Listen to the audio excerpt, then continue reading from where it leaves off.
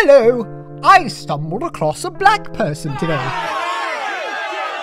No, wait, wait, wait, do not leave. It really is an exciting tale. Hmm. My immediate first thought was that it was popular Cleveland rapper The Barbie. Or is it DaBaby? Oh, you know who I'm talking about. I guess DaBaby isn't black because when I asked him for an autograph, he threatened to beat my gluteus maximus and stated that his name was Deshawn. No, I've never heard of a Deshawn. Have you ever heard of a Deshawn? No, I've heard of DaBaby, but not a the Sean. I was absolutely flabbergasted and, and nonplussed when this man made this astonishing claim. And now my question to you is, does this make me a racist for claiming a black person was DaBaby? Or is this a commonplace claim made regularly? That is what I imagine the case is.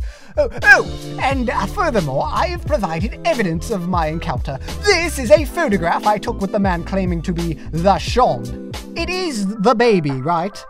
Right? Oh. Uh, in any case, if you would like to hear me regale more tales of my encounters with DaBaby, my favorite rapper, uh, please subscribe to the Joeybar YouTube channel and hit that like button.